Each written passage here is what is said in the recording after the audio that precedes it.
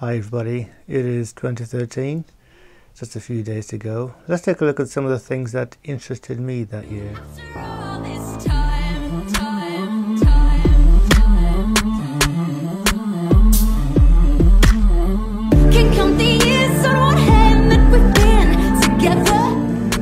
So, this is an interesting one. A meteor exploded over Chelyabinsk in Russia uh, injuring over 1,400 people and uh, and damaging over 4,000 buildings.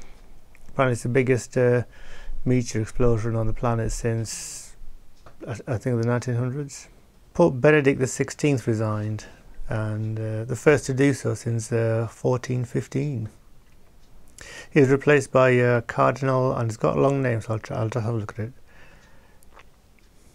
He was replaced by Cardinal Jorge Mario Bergoglio, Bergoglio of Argentina under the name under his new pope name Pope Francis. He was also the first pope that uh, came from the Americas, South America in this case, and first pope from the southern hemisphere. Anyway, those are the few things that I found that uh, were of interest to me. Let's have a look at some of those people who passed away in 2013. Now they included Margaret Thatcher. Those of you remember that, uh, apparently there was a call to play some certain pop songs on the radio on her death. Jonathan Winters, the uh, American comic actor. Esther Williams, the uh, swimming film star. James Gandolfini, the actor. Lou Reed, the uh, rock, rock star. Nelson Mandela passed away that year. And also James Avery. He was in uh, the Fresh Prince of Bel Air. He was the uh, uncle, the uncle in Fresh Prince of Bel Air. Uh, Ronnie Biggs, the other uh, gangster. So his twin brother passed away a few years back. So Peter O'Toole also passed away that year. The actor known for his role in uh, Lawrence of Arabia. Very good film, actually. Worth the watch. David Frost, the uh, journalist newscaster here on, on, on British TV. Karen Black, the actress, the American actress, not my cousin. She's she's still alive and well. Hi Karen. Same age as me.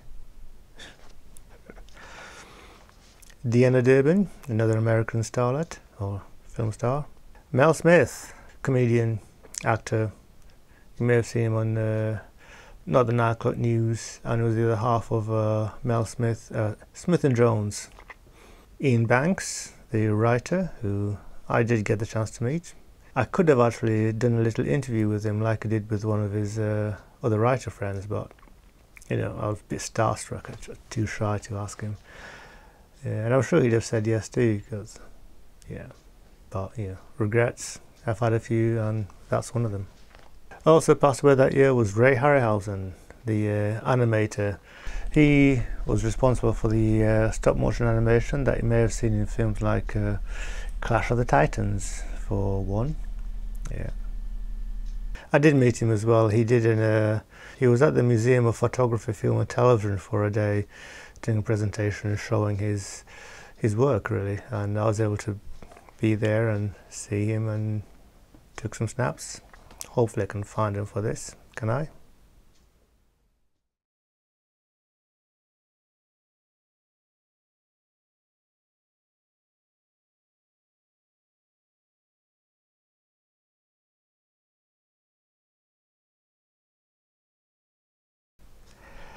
Uh, yeah, I'm going to leave it at that.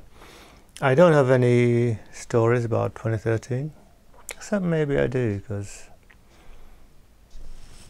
uh, in my personal life, there was a, a little excitement happened. But, uh, um, cut a long story short, uh, somebody followed me on Twitter. I, know, uh, I got a Twitter notification that I got a new follower, and uh, had a look who it was. There's a, a woman, very good looking. So I followed her back, and and then I uh, a few years later, I saw her just across the road from where I work, and so so uh, a little while later, I went and introduced myself. Said, "Hi, how are you?" And uh, and we got on fairly well. So uh, it was close to my birthday, surprisingly enough. So I said, you know, come down to the pub, we'll have a drink. So went down to the pub, had a drink. And uh, we kept doing this for a couple of weeks, and about a month later, things got very exciting.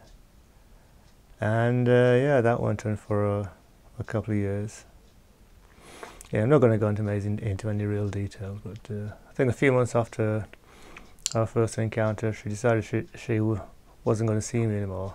And uh, and I was a bit uh, disappointed about this, but you know, good stuff had happened, and so so that was that. I thought, and then she sent me a text message saying, "Can she come over for whatever reason?" So I said, "Yeah, sure thing." So she comes over, you know, greet at the door, I let her in, and I go put the kettle on for a cup of tea because that's what you do.